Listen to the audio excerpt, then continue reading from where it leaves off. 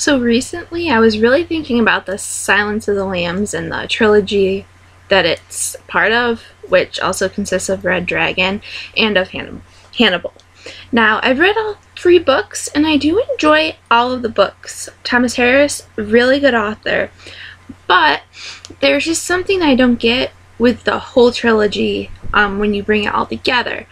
Um, obviously, the chronological order, eh, eh, also, my biggest part is I love Red Dragon and I love Silence of the Lambs, but I don't like, I don't love, I don't feel anything about Hannibal. Now, Hannibal is stylistically, I feel, really over the top compared to the other two movies. The other two are really minimalist, and I get that it's a movie where it's everyone travels a lot. There's different locations. There's a lot of um, things in different European cities. And it's a really sweeping kind of story, but I don't think it translated it to the screen well, especially for people who really love Silence of the Lambs. It was a different type of performance for Anthony Hopkins, and I don't really think that he could live up to Silence of the Lambs. Um, in the Silence of the Lambs performance, um, he is really, really confined in his roles. He's behind the bars or, you know, not out out in the public, but not really. Um, it's just more or less a psychological profile of Lecter that you get from Hopkins' performance. I feel like with him walking around more in Hannibal and just um, being like a member of society, the whole difference of the roles we see, you don't really get this psychological portrait or this intense and very intimate thing in between all of the scenes with him, generally involving solely him and Clarice. Obviously, there's the famous scene with the governor and when he escapes, but the one-on-one -on -one with Clarice person to person is awesome. Additionally, you change the the actress playing Clarice, and I don't really think that's a great choice. First off, Julianne Moore, I love her. I think she's an awesome actress. I have a just a slight girl crush on her.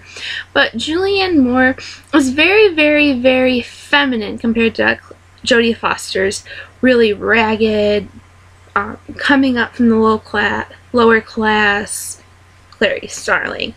Um, when you look at the two together, it's not really this great um, evolution. It seems really disjointed. It's just way too feminine for what you get from Clarice Starling during the Silence of the Lambs movie. Additionally, Jodie Foster has a great mind. For those of you who don't know, she's been directing a lot of films recently, notably, or not so notably, The Beaver with Mel Gibson.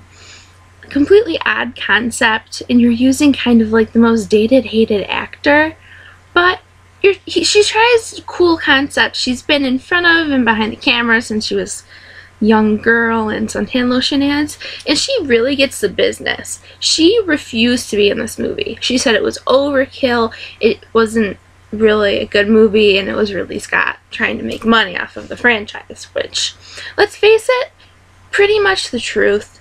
It was like, oh yay, we can do this and make money.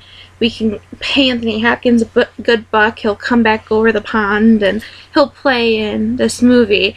But Jodie Foster had the integrity to say no to this movie, which is overkill, and I think she was right to say no to it, but I also think that if you don't have the two biggest stars from one of the best movies ever made, and arguably the best thriller, horror, suspense movie ever made, you ain't gonna make a good movie. It's just like, you can replace the husband and I Love Lucy, obviously, because no one cares about him. It's all about Lucy. But those two actors together in that room made that awesome movie and they had really great chemistry. And when you're throwing in a different actress, it doesn't really work.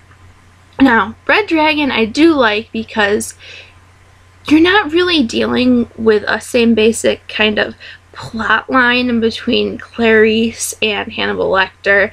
So it's a lot easier to do with just Anthony Hopkins and then have Ed Norton come in and do a fine performance and have Ralph Fiennes come in and steal the day.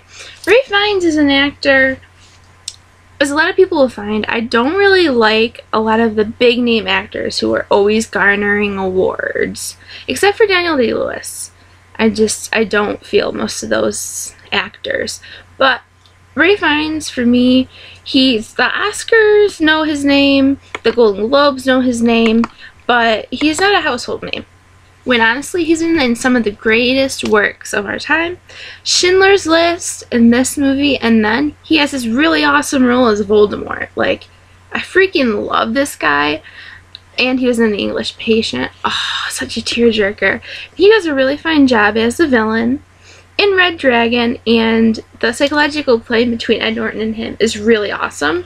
One thing I would like to throw out there to the Hollywood world is I want to watch Edward Norton and Christian Bale have a psychological battle in some type of movie. That's the only way Red Dragon could be better, is if you take out Ralph Fiennes and you throw Christian Bale in the role.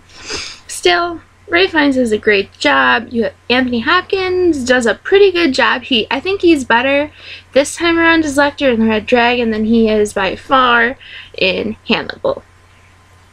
So I guess basically what I'm trying to say is Hannibal is too sweeping for the movie set, the series that it's in.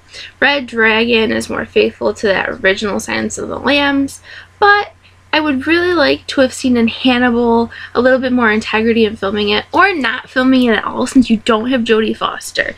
Like, even if you don't like Clarice, Clarice Starling, she did a great job in the role. So, thanks for watching my video, and my next video that I want to post is the smartest romantic comedies, because that is something that we need to delve into, because some of them are so dumb. And I like the smart ones, so thanks.